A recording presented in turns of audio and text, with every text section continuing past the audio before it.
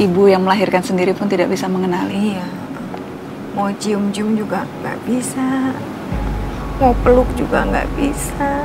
Apa motifnya untuk membunuh adik saya? Adik saya bukan siapa-siapa, Mbak. Apakah hukum itu berlakunya kepada orang yang susah aja? Mereka sama sekali tidak memiliki rasa takut gitu.